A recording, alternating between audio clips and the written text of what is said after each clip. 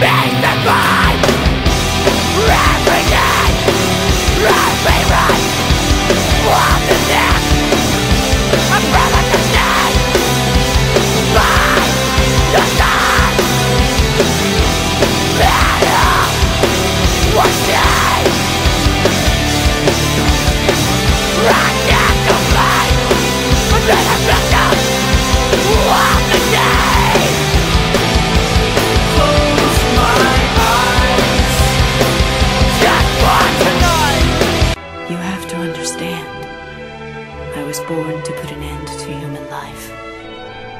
Look, I don't want anyone else involved. This is the last that you're ever going to see of me.